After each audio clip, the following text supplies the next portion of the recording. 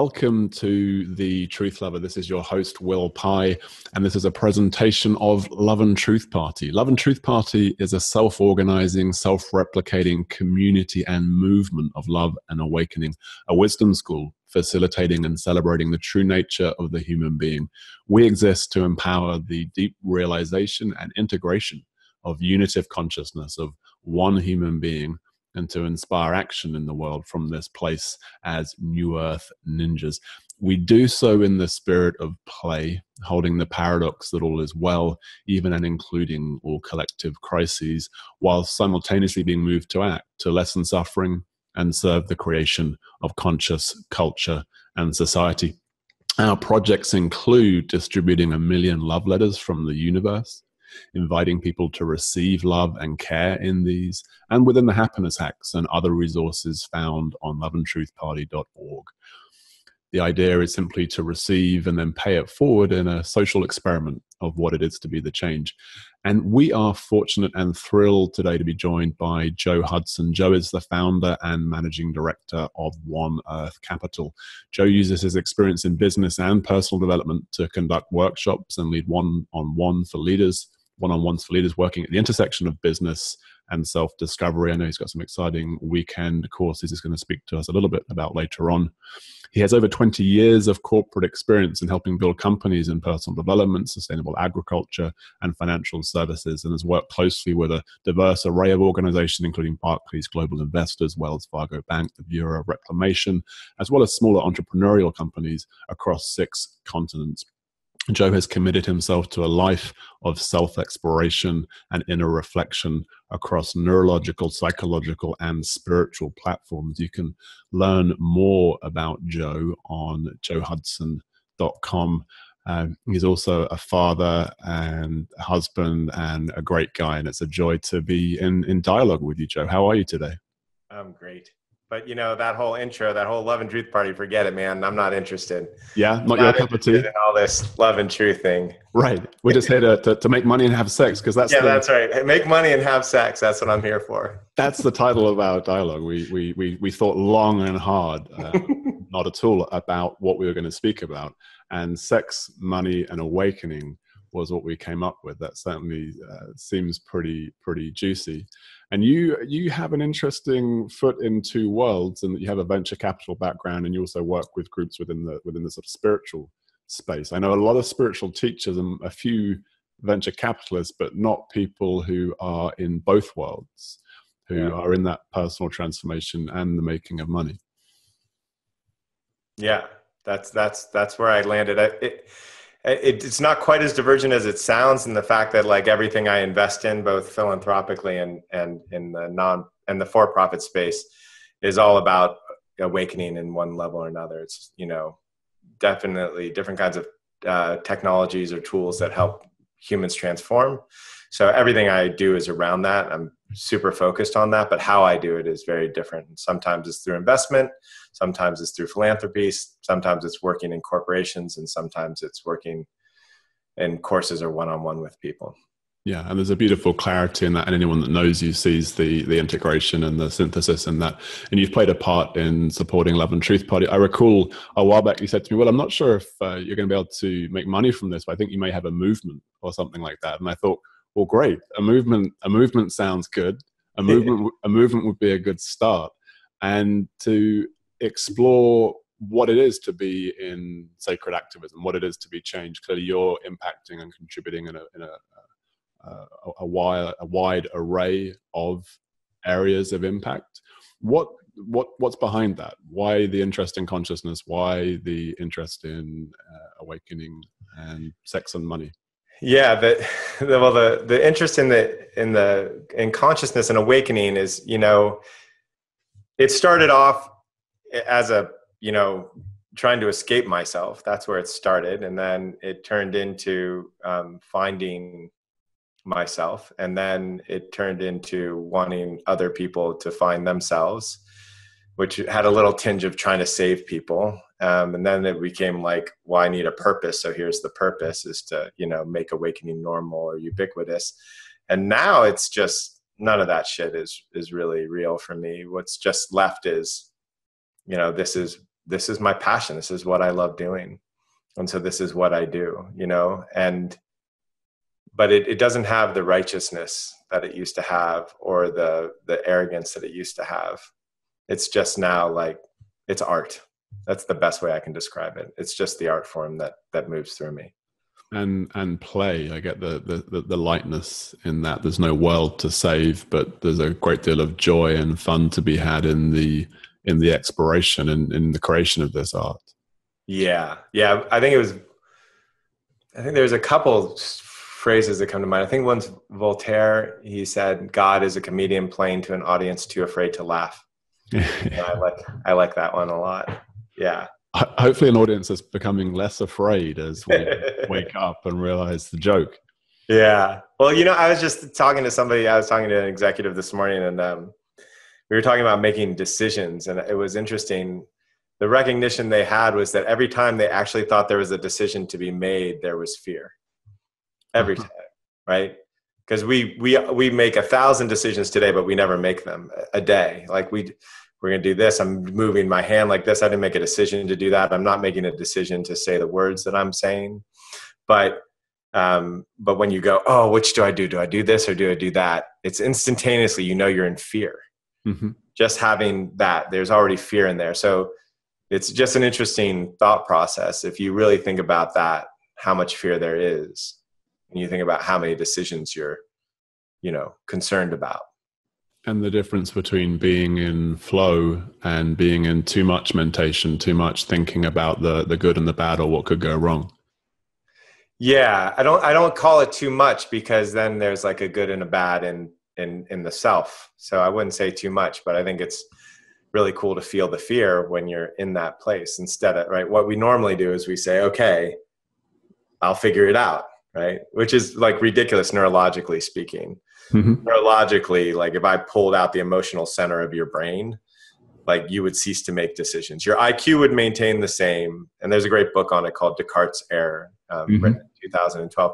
And and it, it, if I pulled it out, it would take you like a half an hour to decide what color pen to use, or four hours to decide where to have lunch. And we, but your IQ would maintain the same right? Mm-hmm. But we're trying to figure out decisions. But when we're figuring out decisions, all that really is is an indicator that we're in fear. And the better thing, better, the the, the good experiment to try would be to explore the fear rather than to try to find the answer and see right. what happens then. Yeah. Which brings us into the feeling center, which brings us into the body in the present moment rather than too much thinking, which seems to be a bias in our culture. Yeah, and and in most meditative current meditative traditions, yeah, um, it's very head oriented. Um, yeah, so I mean, if you think about it, that if we just like move into the sex and money thing, right? It's it's our nature to feel, and a lot of people I know that when I first started meditating, the whole meditation was like to manage my emotions. It was it was just another management structure, right? I I wasn't meditating like sitting around and enjoying it, meditating. It was like I was trying to manage myself. How do I get into a state of awareness? How do I get into a state of bliss? How do I get into right? And and luckily yeah, luckily that just slowed the process down. It didn't stop it. Um, but it's our nature to feel. Like there's no moment that we've existed in awakeness and, and like where our eyes are open where there isn't a feeling moving through us right? it's mm-hmm. just, this is what we do. We feel just like what we do is we think and what we do is we have kinetic experience kinesthetic experiences. What we do is we want sex. Like we are that's what we do. What we do is we want to accumulate security. That's what we do. We are not unlike squirrels in that way. Like it is our nature to do these things. And for whatever reason, there's whole aspects of spirituality that say we're just going to sublimate that part of us. Which doesn't work out too well in a lot of spiritual communities where that sort of shadow of sex and money then comes out in other places where it's perhaps less healthy and, and, and less conscious. Yeah, there's the shadow of it. There's also like I don't know any any any of my friends who are running monasteries who like aren't aren't considering money right? So I, I get there's a deep beauty in the practice of saying I am going to personally just give up money so that I can find myself without that. Like I get that as a as a as a temporary experiment. I get it. or the temporary experiment of like what is life without sex right M- many of the lamas that i know they have kids so it's this very interesting phenomenon but we have and we in our nature we have our humanness is to have sex. Our humanness is to accumulate security. Our humanness is to now does it get distorted? Sure. Is there things to learn from abstinence? Absolutely. Does fasting make sense? Sure. But the idea of like when i illumin- eliminate my desire for sex when i eliminate my desire for security then i'll be free that's that's ridiculous. Like that it's not that the the desires are there it's our relationship the, to the desire and ignoring our humanity isn't awake it's it's subjugated Right. So being more aware of our desires, being more aware of our emotional experience.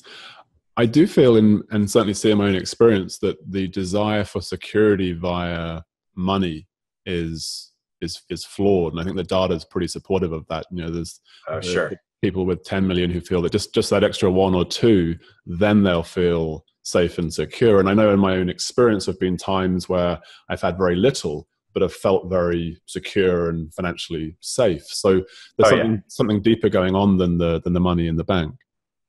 Absolutely. Yeah. Yeah. I'm so by by no means am I saying like you can fuck your way to heaven or you can like accumulate your uh-huh. money accumulate money uh, th- into heaven like nah i mean obviously the data you know just go hang out with some rich people mm-hmm. you know like, it's all pretty darn apparent and we have a nature mm-hmm. and and to to deem it as wrong and then to try to control it is it's you know at the end of I, I do this 18 month course and i do it with like there's zen priests and there's ceos and there's you know world famous artists who come to this course. And at the end of it what struck me was that i mean i i i, I get emotional thinking about it. You know what they said was they said you know thank you for teaching us how to be human. You know yeah they they had awakenings. Their their idea of themselves collapsed in some cases that you know they saw that their the unity was there but what they were grateful for wasn't that. What they were grateful for was falling in love with their humanity humanity with mm-hmm. their own humanity. Mm-hmm. it's not even awareness of it. It's falling in love with it you know? Mm-hmm.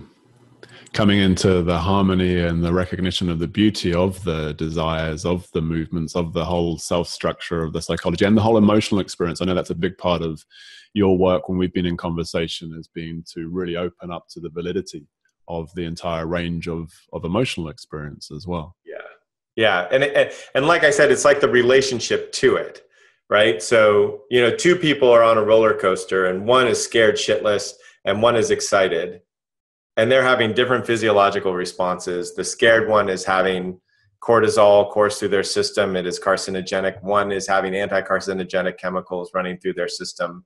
Same experience, right? Similarly, you know, we feel sex drive. Like that's the roller coaster. Or similarly, we have emotion. Or similarly, we desire security. Our relationship to that is what determines our experience. It's not the ride itself right and and to say okay i'm not taking the ride right that that you know then you're like sitting on the roller coaster like you know like halfway down the thing just sitting there. Like the tension is constant right? But there's also like wow this is all i can fall in love with my desire my desire i can fall in love with my desire. Mm-hmm. not, my, not my craving. Craving very is very different in my world.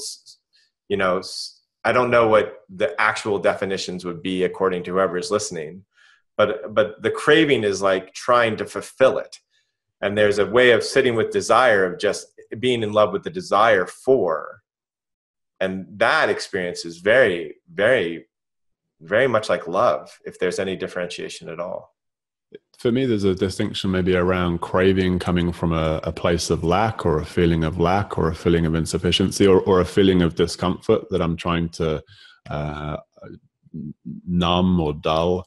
But desire in its pure state is that sort of that eros, that movement of, of, of love, that movement of creativity to, to, to become more, to create, to experience, to um, to, to contribute all all natural and beautiful aspects of our humanity. Yeah, yeah, and I would fall, and I would put like sex and accumulation of security into those beautiful aspects of humanity if they're not being used as you said you know to compensate or to avoid or uh, i'm i'm interested for you how has that changed or evolved as consciousness has expanded or awakened? Has sex become better? Has sex become more important less important? How is your relate maybe we'll start with sex yeah yeah sex that's good yeah. Uh-huh oh shit. My my sex early on in life was just all fucked up. You know it was it was it was definitely there was all sorts of childhood trauma around it and it was it was brutal. Um my awakening experiences really didn't shift it at all. Mm-hmm. um but then as i started to like deepen into what is life like from that perspective what is what is it as i start accepting everything? Then then there was like the the the sexual cravings became less but the sexual movement became greater right? Because it was stopped being repressed. So there was like this movement that happened around sexuality like that energy just flowed a lot more freely. It often got confused in different stages in the developmental cycle where you know i would confuse other forms of love with sexual desire. I think that's really common experience um, for people. I, I know it is. I see that a lot. There's a lot of confusion when people start feeling that the the joy and the and the bliss of life just the simple bliss and joy of life it's often confused with sexuality. Um, you know, I went through a time where I just had this uncontrollable urge to kiss all these people because I was falling in love with the world. And it was like, took me some time to see, oh, the, these are actually different emotions that I'm, that I'm, my, my system is confused about. Yeah. When we're playing with, with consciousness and awakening and we're in community and these heightened states of heart opening and connection of feeling in our bodies tingling and it's all yummy and delicious. i I can relate to both uh, being in confusion around my perception of others and also noticing others perhaps getting a little bit confused in their perception of me because I'm in a state that's arising rather than uh, taking responsibility for that love being entirely their own and having nothing to do with with, yeah. with the teacher or, or, or, the facilitator or the coach. Oh yeah, especially in the you got two things going for you in that role. You know, you have like the the, that you know like you're coming if you're if, if if it's like me you're walking into the room just your your thing is to love everybody in that room. So there's that confusion. Then there's the power bit right? Which mm-hmm. is like and so there's a lot of times in in in our line of work where people you know get confused and they want it to be sexual and they want to feel that level of fulfillment. It happens. Like it's yeah I'm glad we've added power along with sex and money. It's like the, yeah. the, the, holy trinity or the, the holy untrinity that be, being brought into consciousness. So how do you how do you work with that skillfully? How do you be in love? How do you be in that uh, heart open space whilst also being in integrity and being in clarity? And is that just a a case by case? I don't know if it's a how. Yeah, I mean, there's something i mean obviously uh, continually pointing back that the love is in them and that what they're seeing in me is a projection mm-hmm. i mean constantly pointing that out is really useful um, mm-hmm. i think there's a time in the teaching process where you allow the projection onto you mm-hmm.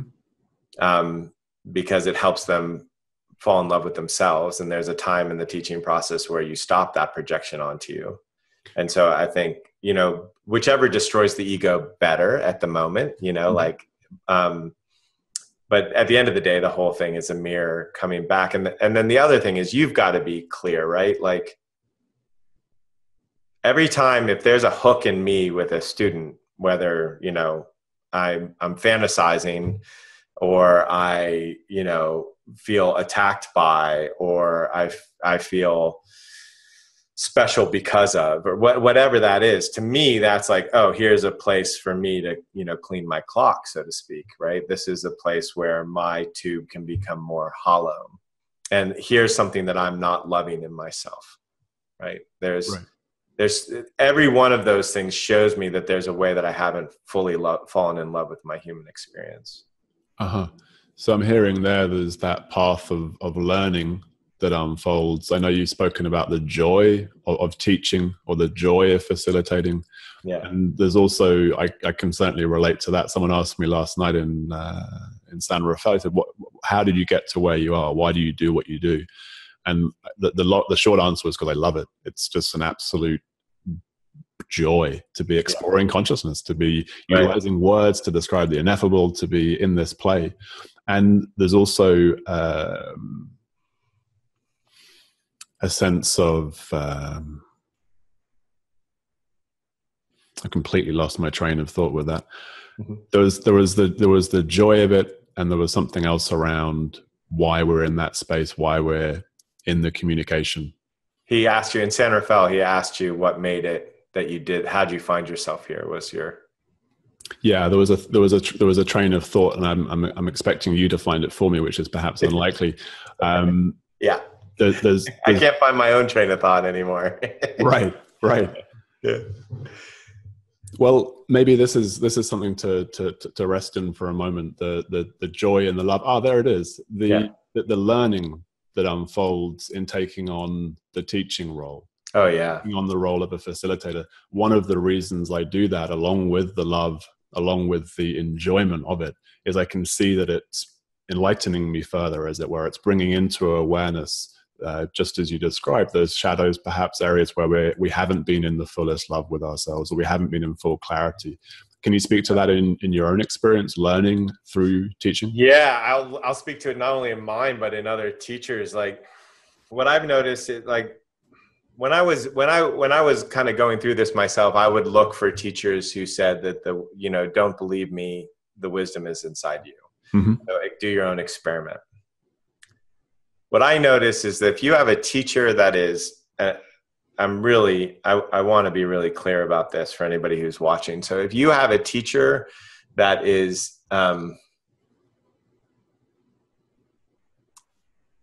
it doesn't see that you are a better representation of the truth than they are, meaning that the next step for you is more clearly in you than it is in them, right? If you don't have that in a teacher if the teacher isn't if at the end of the day it's not empowering you become independent right? If i was a math teacher and after two years you hadn't learned calculus you should fire me right? Like and if you're like dependent then then it doesn't work. It's unempowering. And so so there's a lot of teachers out there that you know i would say that get their intimacy needs met in a power over situation so they don't take the real risk of intimacy. There's a lot of a lot of teachers out there that um, are accumulating power even subtly like and when i say subtly like let's say let's call it like an awakened state like if they're achieving an awakened state then they're accumulating power. If they see the awakened state as a natural gift from the universe that's a very different thing.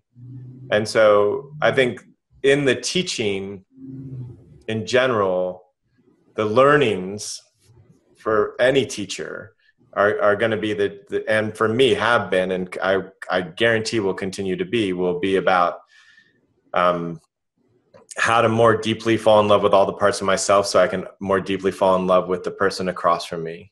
The the teaching is how do I make it so that this person sees that they are just as much an expression of awakened consciousness as I am.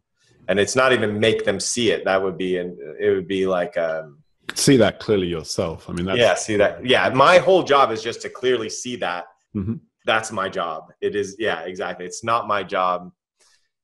Um, and then and then there's also like the the the the other side of that which is not taking responsibility on for other people's emotional states even if they're students mm-hmm. right like and the more that I can fall in love with every one of my emotions, the more I'm just, you know, they're like, I'm pissed at you. And I'm like, that's fantastic.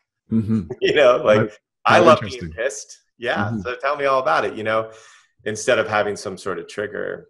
And um, so I think a lot of teachers create this by just creating separation between them and the students. Mm-hmm.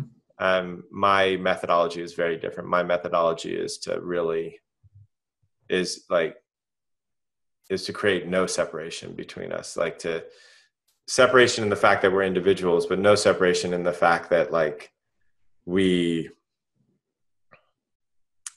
it's like m- my teaching is through vulnerability it isn't through knowing i don't come in and say i know everything ask me a question yeah i've i've seen this model powerfully for myself with other teachers who have utilized vulnerability authentically and genuinely, but also as a means of uh, achieving something which you spoke to earlier about uh, undoing those projections. Uh, yeah, there'll be times where perhaps absorbing the, pro- the projection may be the highest service, but it seems that in the general spiritual marketplace, there's a greater need for teachers to be clearer in their role to undo those projections to give people back their you're so enlightened you're so amazingness back to back to them as, as, a reflection. And that seems to be like so so so important from every perspective and yet i don't think it's common. I think a lot of teachers clearly they, they build the the, the, the sangha they build the um, power structures and they accumulate uh, often sex and and money simultaneously through elevating themselves above above others to be something special. Yeah, it sells, baby.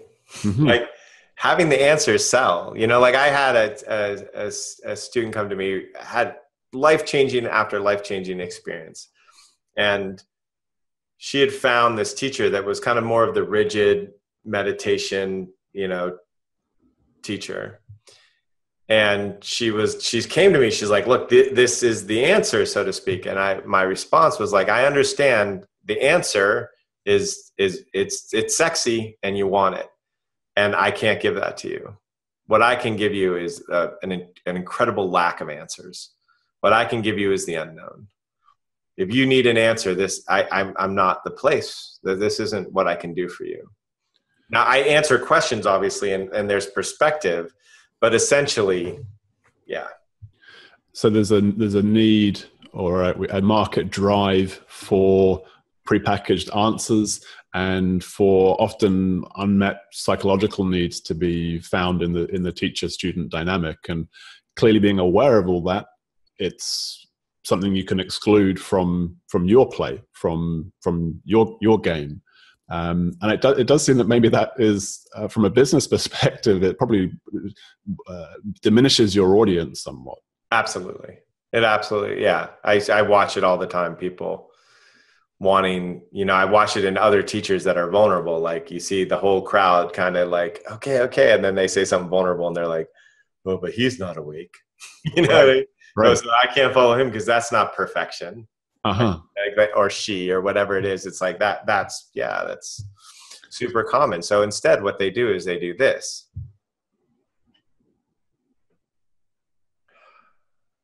Hold their breath. Just give me a second. It just takes me a second. Yeah. So instead what they do is they speak in a way that makes it really clear that every little thing that's happening inside of you just comes and goes. This is the teacher? Yeah, this is the teacher. The, the, the, the teacher role being taken rather than being the human that they are and speaking from awake yeah. consciousness. Yeah. And it's good. It gives you this transmission of non duality which is i think a really useful tool and i think and and lovely. And i think every teacher has a role for some you know there's a group for that that teaching. But the transmission of non-duality stillness emptiness doesn't need to avoid words doesn't need to uh, avoid emotion right? No. one can be chattering away and the greatest stillness is where those thoughts are arising from. Right that's absolutely the case. But the the absolutely the case and it's you know I, i'm in china and i'm sitting there and there's this billionaire who's coming to talk to me and next to me is a chinese zen nun they're allowing now just an, just an everyday experience in the life an everyday and, yeah. and um and she's in the robes and i'm just like me and boom all the attention on the awakening went to her. Like I, it was which was fun like the you know it's like you the rock and roll star like dresses up like a rock and roll star and they get up on stage. Like that whole thing sets up a sets up an entire you know uh, it makes the it makes the message easy to deliver. The uh-huh. robe the funny the funny hair the funny hat the funny name the mm-hmm. like the the slow talking i mean like if you watch osho it's like he's using hip, hypnosis techniques mm-hmm. he's using hypnosis techniques still your mind mm-hmm. right and, and hey man that's awesome seems to it work. helped me. It, it helped me. It helped the hell out of me. Yeah. Uh huh. Yeah. So again, I'm thinking of yesterday because I, I have a similar disinterest in um, sending people to sleep or yeah. into hypnosis or into a, an idea of awakeness, yeah. and to be deconstructing the role of the teacher na- naturally and consciously, intentionally, as, as as part of the play seems to be really helpful. So when I when I you know, just come, it's coming to mind like going to sit on this elevated seat yesterday and there's a microphone and there's people there expecting you know, presumably expecting something wise or, or intelligent to be said. And what i find really helps is being in the humor of that. Like yeah. so when, when someone said to me well, how did you get here? It's like well that's a great question. I really have no idea. And there is i can tell you some sort of linear story of i met this guy and this awakening and all the rest.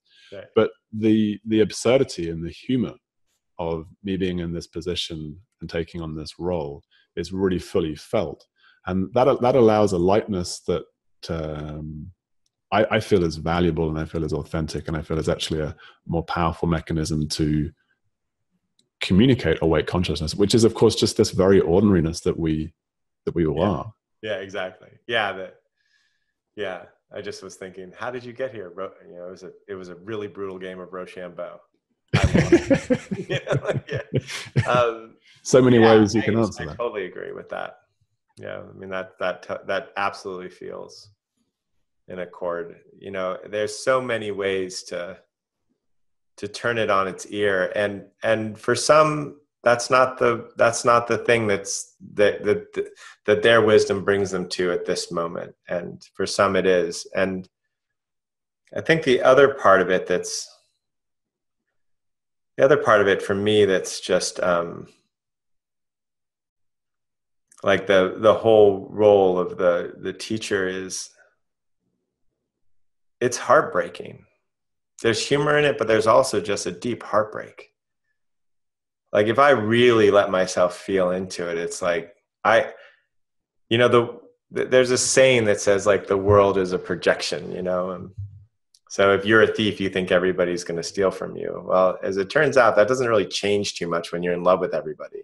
Because like I'm in love with everybody, and I just like walk around kind of thinking other people are in love with everybody. You know, like it's kind of a, a ridiculous notion. And the, and then when I see them treat me special, um, it breaks my heart because I, I like, can't you see what I see? Can't you see yourself through my eyes? Like can't you see what you are? Like that's a heartbreaker. And it's not a heartbreaker like poor them. You mm-hmm. know it's not it's a heartbreaker just like uh you know there's no better than in it. There's just like this like right. And and may more love flow through that break right. right? You know it's the it, it can't but not. Uh, like the, like every time my heart breaks it increases my capacity to love mm-hmm. every time. And there's there's something to speak to. I've been geeking out on quantum mechanics again recently. I, have yeah. um, Paul Levy's written this wonderful, wonderful book, Quantum Revelations. He actually talks about quantum mechanics being kind of addictive, and I know there was a time way back when when I found that. I'm kind of finding it again now. Like I'm just really geeking out on the non-duality of quantum mechanics. Yeah. When you speak of loving people, when you speak of seeing the world, you know, projecting that beautiful image, projecting that bubble out yeah. into the world, such that that is your reality. Yeah. In the collective, the more people that are doing that, the more yeah. people that are being that, able to see the awake consciousness, to see God that's yeah. shining out of the other person's eyes, especially in the teacher student scenario. Yeah. There's something immeasurably powerful about that from that perspective of consciousness um, manifesting the universe, manifesting form, and the quality of the consciousness that's observing, informing the nature of that form that manifests. Yeah, there's yes, and. So my experience is that my friend said to me the other day that he, he said he goes i'm trying to cure people from non-duality. And i don't see it quite that way but i see it as a developmental step you know? It's just like you know you, you crawl before you walk. And i think non-duality that recognition is a beautiful insight and it relieves so much and and there's so much ease that comes with it and it's and it's it's a beautiful beautiful thing. And it doesn't mean shit if you're not in love with people. If you mm-hmm. if you don't fall in love with people just because they're people if that isn't happening if you're like you know like like distant and compassionate but I don't even know what the fuck that means, but that seems to be the case. Like, mm-hmm. like yes, they have the idea that they love everybody, but their heart's not breaking. Right. right? Because heartbreaking would be that I was actually in duality and I was in my personality. Like, but like that's what a lot of that people in that stage think. It's like it doesn't mean much without that. I mean, it's a great stage of development, but it's like it's like it's that falling in love part that's I think really critical. It's I've seen people in a non-dual thing, you know, Osho is an example of it. I, am not saying he's a bad man or a good man, but uh, but there's a lot of harm that was done there, and um, I haven't seen people deeply in love do that kind of thing. Right, and that, and I don't mean love like romantic love. I mean love like, yeah, you should, yeah, it's love. Yeah. yeah, real love. Yeah, that, that's that's where my heart breaks is observing within non-dual circles or within supposedly awakened on the edge of consciousness on the realization of truth where there's this distance or, or an intellectual insight that's that's and often it's a genuine i would assume insight of emptiness or insight of no self and it's actually utilized in a subtle form of violence to beat people over the head with how they think they exist and I know that I don't. This sort of uh, yeah. this sort of separation, and this feels to me to be speaking to that integration and that full awakening through the entire body, through the heart, through the gut, such that the awake consciousness that we are can enjoy the awake consciousness that's before us. Yeah. Rather than the hey, I'm I'm awake. Yeah. yeah. Yeah. I mean, I remember for me when I was in that like place of you know, kind of where I just discovered the non-personal space, that non-dual space, and um, and then I was like reading. I you know I, I got into this idea that in Google you should always search for the thing that you think isn't true to see what the other point of view is, so that you're not in your like echo bubble. So I said reality is or enlightenment is false, right? And then I read this thing. It was called depersonalization disorder, which is the number four, number four most diagnosed disease. And and and so if you go, go ahead, go online, go to the depersonalization disorder website, go to the chat group. The chat group then it says when the onset and read people's first person experiences of the onset. It's exactly like enlightenment.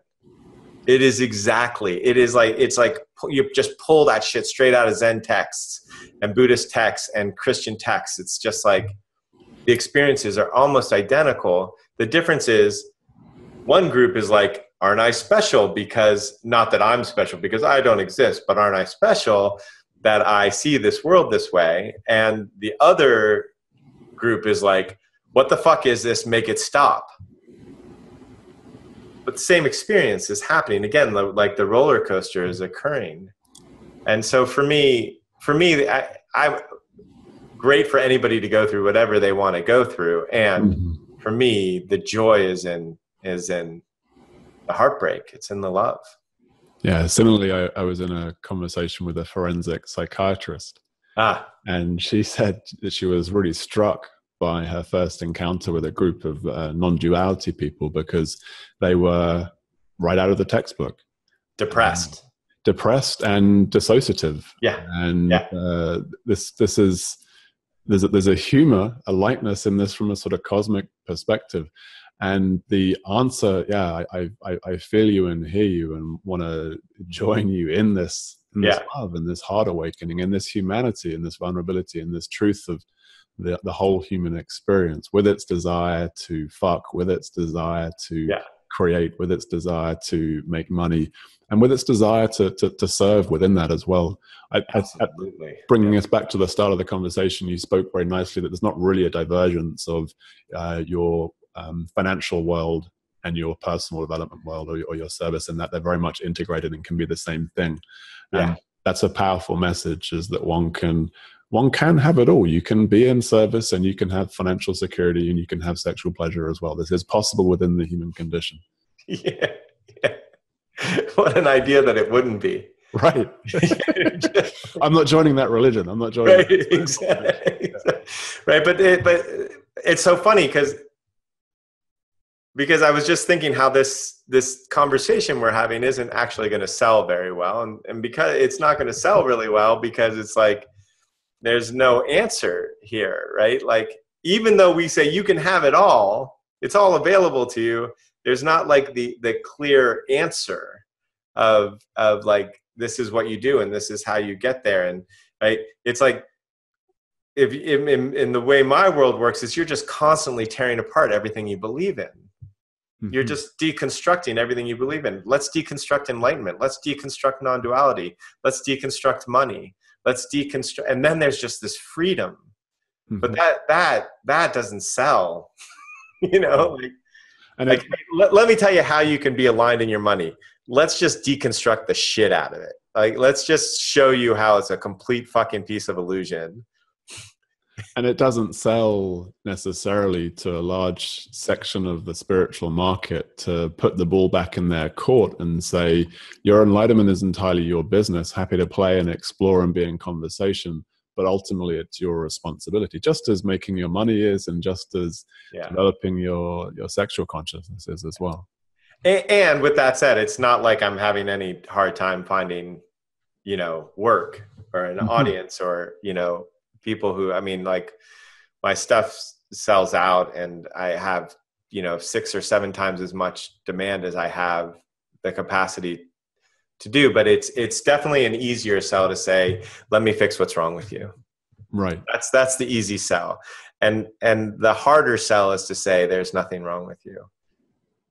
And i don't have an answer and speaking of your sold out offerings, I know that you've got some upcoming weekend courses happening around the place. Can I invite you to share a little bit about that with our audience?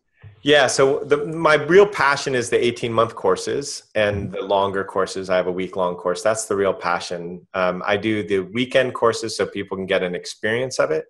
And then from there, we curate the 18 month course pretty heavily. So we make sure that it's like I, I like working with people that I want to work with. So I, I handpick the people, and that makes for really a really good group of folks mm-hmm. um, for the longer 18 month course. Uh, I keep them reasonably affordable because I don't have a strong need for the money. Um, and uh, the weekend course is all about conflict. It's it's basically how do you fall in love with conflict and enjoy it, and how do you figure out every time I have conflict, it means that I get to transform, and I will, and that's exciting. Mm-hmm. And so that so conflict is is anger, conflict, totally natural.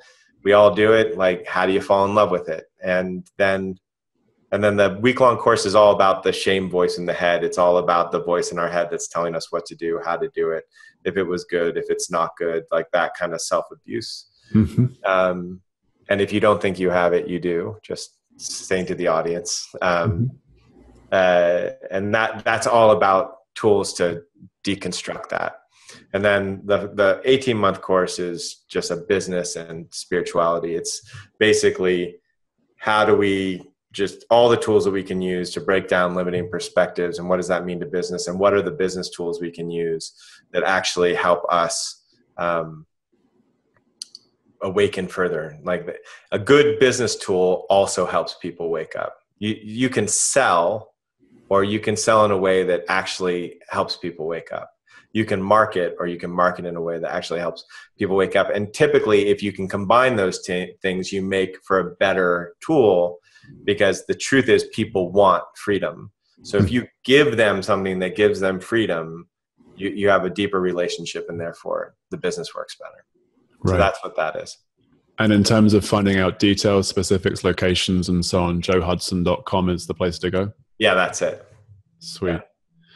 joe it's been a, a joy being in dialogue with you as always too uh, short always too short yeah right thank you for giving us the time today and i look forward to spending more time with you in person soon.